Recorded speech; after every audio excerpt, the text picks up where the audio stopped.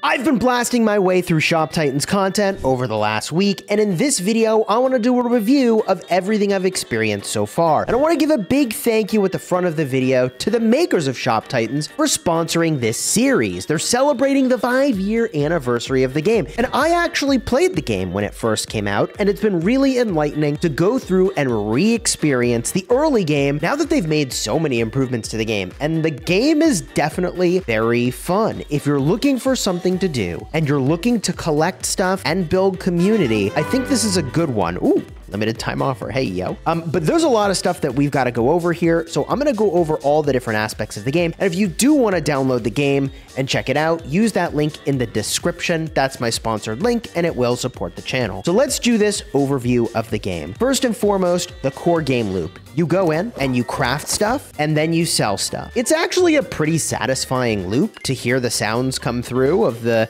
coins that you're making. And I'll say this, the crafting is sufficiently complicated and there is enough depth here that you can stay quite busy with this for a long time. I uncovered only some of the very basic systems of crafting something over and over again to ge generate sort of benefits for that item. These are called milestones, okay? That includes unlocking new patterns, but also there is ascension. And I barely scratched the surface of the ascension, what I assume is endgame. And there's a lot that you can do there. So the core loop of building up this collection of patterns, I found to be fairly satisfying, and I found it rewarding when I found a pattern that was actually disproportionately valuable. It's this sucker right over here. I mean, I just went completely ham on these ice picks.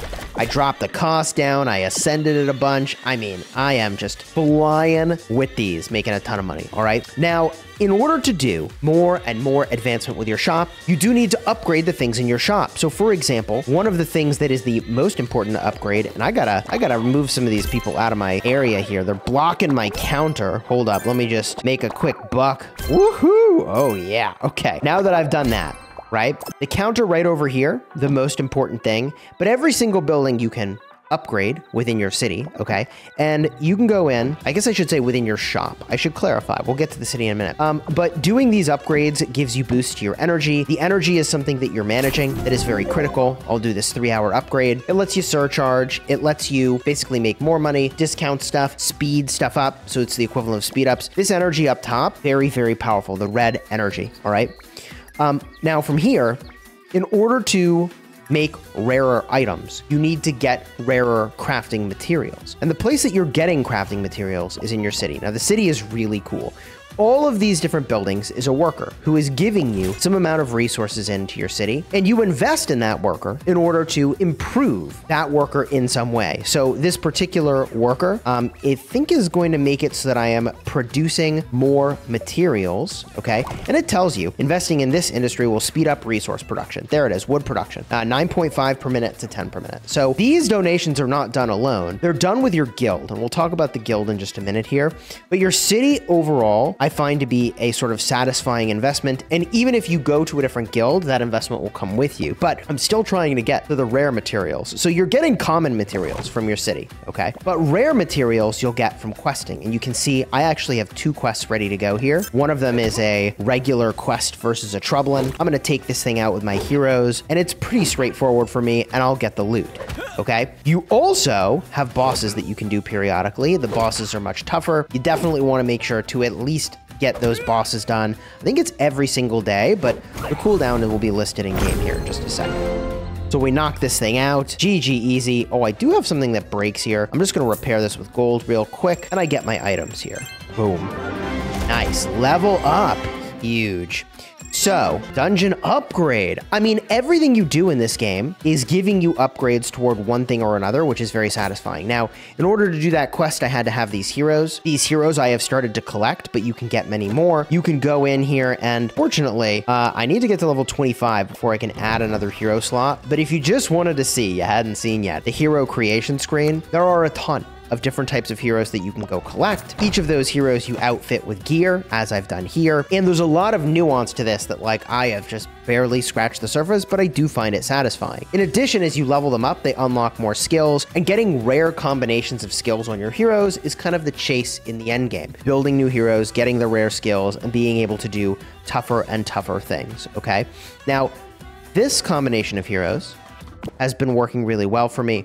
Basically, I bring a warrior archetype, a rogue archetype, a mage archetype on almost all my quests but there are also champions you can collect. Now, I've only managed to unlock Argon so far, but I'm very close to unlocking Lilu. I've started to work on Sia, and I'm also working on Yami, and I've been able to work on that 100%, oh, almost 100% free to play. I did go and pick up one thing here, and I will say that this is a very free to play friendly game. Unlike other games that I've covered on this channel, like you, your city can't get attacked. You can't get raided. You can't get zeroed. You don't have troops you're losing. Okay. So you can play at your pace. The only thing that will perhaps insist that you go at a different pace is your guild. Okay. Now, the guild is the collection of people that are in your city together, all investing toward the same merchants. You're literally sharing this same pool of merchants, everybody gets the benefit of every single merchant that's here. Okay. So getting into an awesome guild is a big deal. And the way to tell how much people are committing is to go into the investments and like literally knives is hard carrying our city right now with 133 mil invested. And I have like a total of, I don't know, a couple mil earned over the lifetime of my account. So let's see here, net worth. What is my net worth? Uh, yeah, 1.2 mil. So what I'm trying to make is getting into a great group that is active is a huge deal. They help you with your construction, obviously a big deal. There are also events that take place. For example, we've been blasting our way through this one right over here, the King's Caprice, and I've been covering this in my videos as I go. So not only, okay, is there important community engagement and like I can pull up, uh, let's see here, if I go back to my city, oh, right over here, right? Like there's guild chat. There's also notifications of things that are happening in your guild. What I'm trying to make here is that it is definitely a team oriented game and it's all friendly. Like I don't know, maybe there's rivalries between players in this game, but there's no PvP. So that's something to keep in mind if you're looking at this game. This game is, I think, very casual friendly. You can spend to accelerate or not spend and have a great time either way. If what you're looking for is just progression of your own account uh, rather than chasing the global leaderboards, which do exist, by the way, and like, do these accounts are insane. Okay.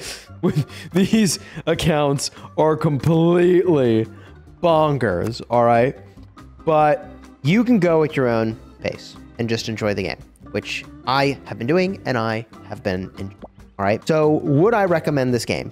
If you are interested in collection, if you are interested in the collection of heroes, crafting of patterns, um, learning patterns, opening loot crates periodically, this is a pretty fun game.